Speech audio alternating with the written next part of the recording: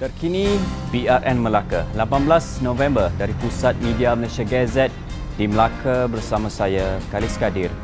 Calon Dewan Undangan Negeri RIM Kaidirah Abu Zahar menggesa rakyat negeri Melaka pulang mengundi dalam pilihan raya negeri Melaka pada Sabtu 20 November ini. Beliau yang lebih dikenali sebagai Dira berkata, rakyat tidak boleh mensia-siakan peluang serta mandat yang telah diberikan kepada mereka untuk memilih kerajaan negeri yang terbaik.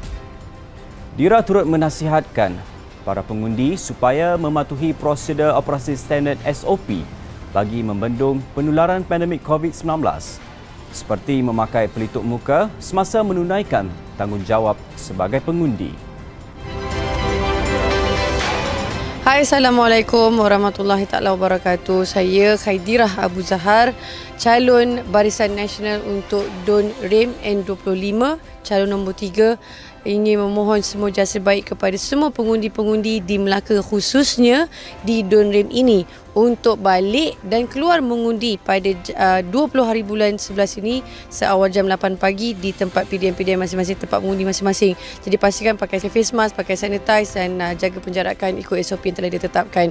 Dan saya juga ingin merayu kepada anda semua pengundi-pengundi kali ini.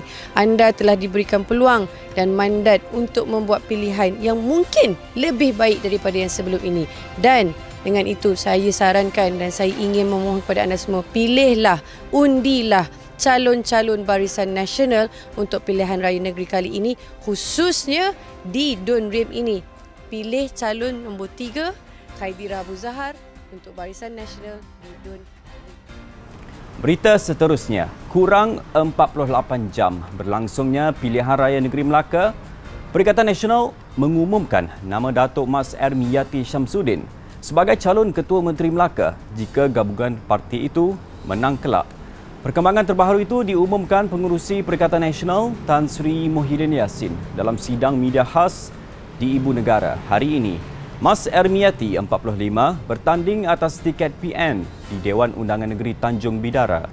Beliau berhadapan calon Barisan Nasional Datuk Seri Abdul Rauf Yusof dan Zainal Hassan dari PKR mewakili Pakatan Harapan.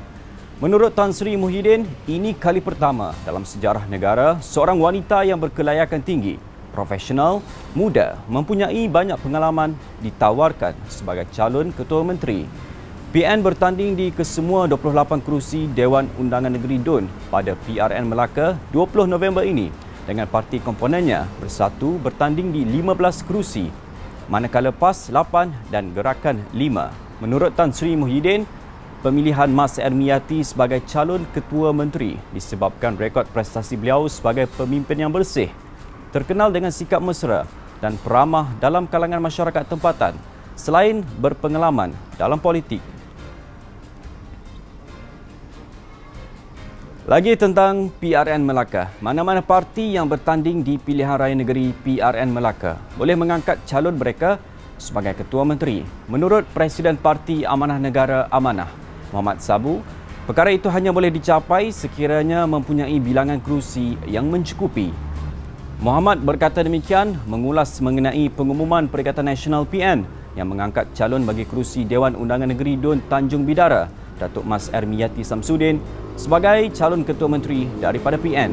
Presiden Parti Peribumi Bersatu Malaysia Bersatu, Tan Sri Muhyiddin Yassin berkata, Mas Ermiyati merupakan satu-satunya calon wanita yang pernah diangkat sebagai calon ketua menteri Melaka jika PN menang PRN Melaka. Mengulas lanjut, Muhammad berkata, PN tidak seharusnya lupa bahawa terdapat tiga calon bagi jawatan Ketua Menteri Melaka yang dipertaruhkan bersama-sama PH dan juga BN.